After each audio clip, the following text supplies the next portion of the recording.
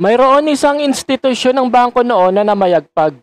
Ang bangkong minsang pinagkatiwalaan at naging parte ng bawat pamilyang Pilipino sa pananalapi. Ito ay ang Bangko Pilipino. Ating alamin kung paano nagsimula at paano rin sila nawala. Kung bago ka pa lamang sa aking channel, please subscribe, comment, like, and share. Bank on Filipino strength.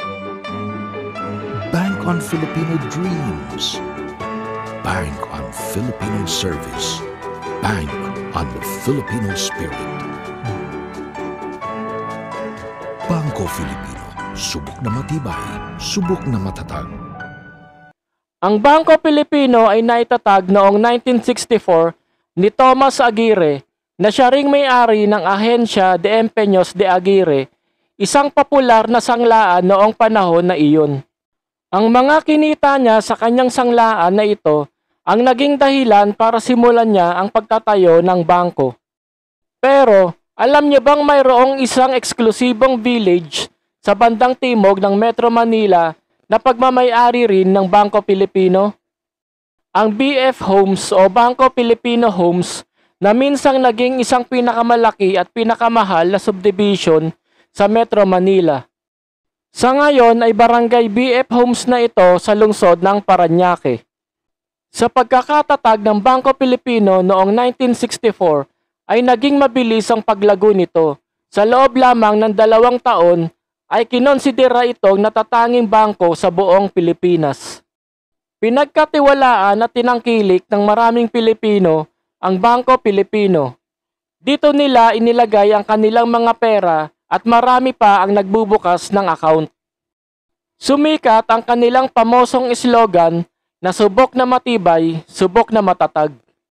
Taong 1972 ay umabot ng isang milyong accounts agad ang kanilang mga kliyente Isang pangyayari na wala pang ibang bangko ang nakagawa.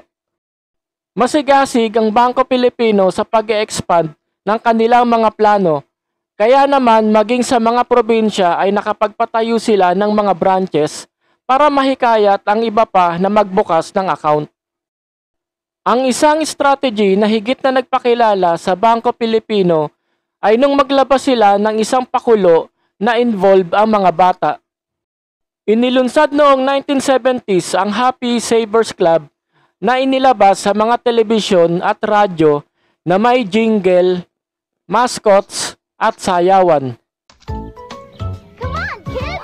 All aboard! Join us and make your dreams come true! Come, join the Happy Savers Club of Banco Filipino.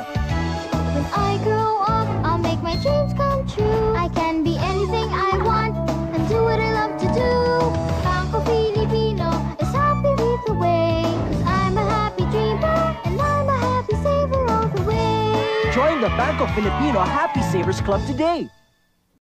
Ito rin ang kauna-unahang bangko na tumanggap ng mababang deposits.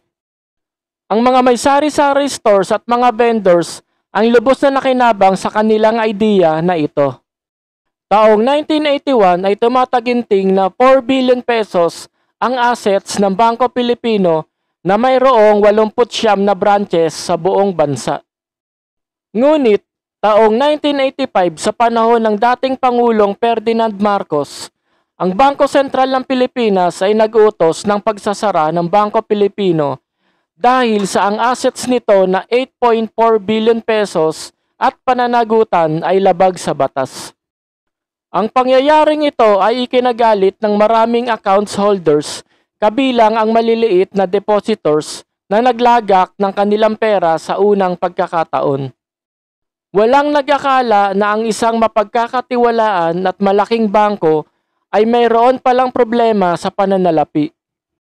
Taong 1985 ay naghayag ang Bangko Pilipino ng bankruptcy. Naibalik naman ang mga perang na-deposit ng kanilang mga kliyente. Muling nagbukas ang Bangko Pilipino noong 1994, subalit hindi na ito katulad ng dati. Sa mahigit na siyam na dalawang branches nito ay labing lima lamang sa mga ito ang nagawang magbukas ulit. Nawala ang milyong mga kliyente at bilyong mga ari-arian dahil sa pagsasara nito noong 1985. Ang lahat ng kabigo ang nangyari ay dahil na rin sa hindi maayos na pamamalakad ng mga namumuno dito. Hindi na naging masigla pa ang muling operasyon ng Bangko Pilipino noong 1990s at hanggang 2000s. Ang kanilang mga opisina ay katulad pa rin ng dati. Sinubukan ring ibalik ang dating matagumpay na Happy Savers Club, ngunit hindi na ito pumatok pa sa mga Pilipino. Taong 2011 ay muling ipinasara ang Bangko Pilipino dahil sa sobra-sobrang ari-arian nito. Ang Bangko Sentral ng Pilipinas ay nagsampa ng kaso laban sa mga executives ng Bangko Pilipino. Makikita na lamang sa ngayon ang mga abandonadong gusali ng Bangko Pilipino na dinadaan-daanan na lang ng mga tao. Katulad na lang ng Tropical Palace sa BF Homes. Ang isang gusali nito at kanilang headquarters sa Makati, ang Horse Ranch nito sa BF Homes at ang iba't ibang branches nito sa buong Metro Manila. Maaaring hindi na maibabalik pa ang dating kasikatan ng Bangko Pilipino, pero ang alaala nito sa kanyang mga depositors noon ay hinding-hindi makakalimutan. Hanggang dito na lang guys. Thank you for watching. See you on the next video. God bless.